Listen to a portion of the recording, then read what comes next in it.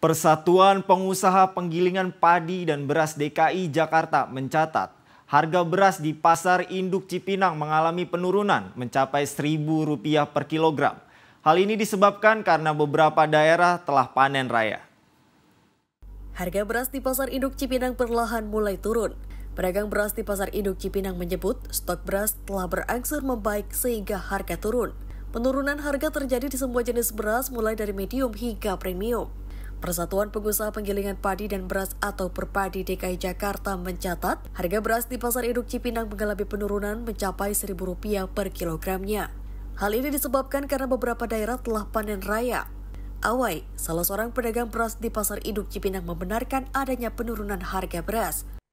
Sekarang situasi beras sudah agak menurun. Dari perbandingan situ harga satu minggu kemarin, uh, turunnya bervariasi. Dari medium ada yang kurang 1000 sampai 700 perak tergantung kualitasnya.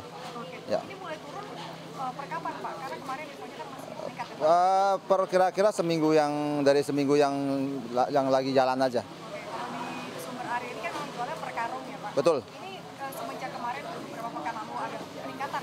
Konsumen masih tetap ada atau Kalau konsumen dari waktu mahal juga tetap ada, cuman dari harga berasnya sendiri. Ini kan sekarang yang bikin turun kan dari memang dari daerah sendiri, daerah Demak, Gerobokan sana. Dan Seragen juga mulai ada panen.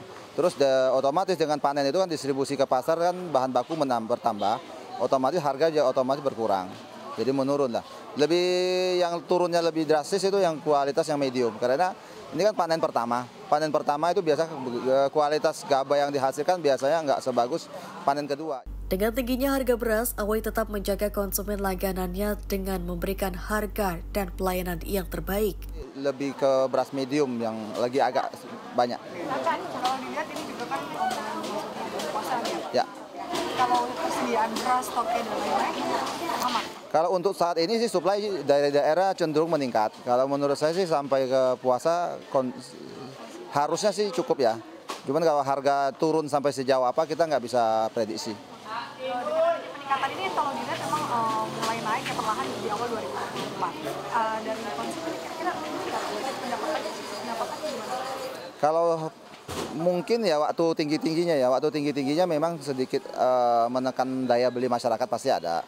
Tapi kan pemerintahnya sendiri juga cukup uh, sigap dengan ada pengelontoran dari Bulog yang kasih SPHP, terus dari Bapanas sendiri ada program Bapang itu uh, cukup meredam sih.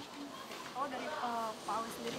Ya. Ini kiat, uh, strategi ya? Hmm.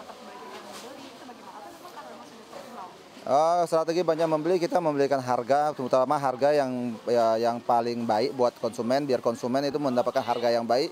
Dia bisa menjual kembali dengan lebih cepat dan mungkin mendapatkan margin yang lebih baik. Ya dari pelayanan kita pasti berusaha yang terbaik.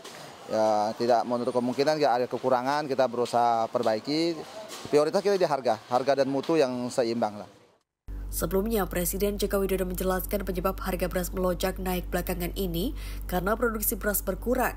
Produksi beras berkurang karena perubahan iklim yang ekstrim. Hal itu membuat gagal panen terjadi. Demikian laporan Fani Agnia, Muhammad Jamaludin, Garuda TV.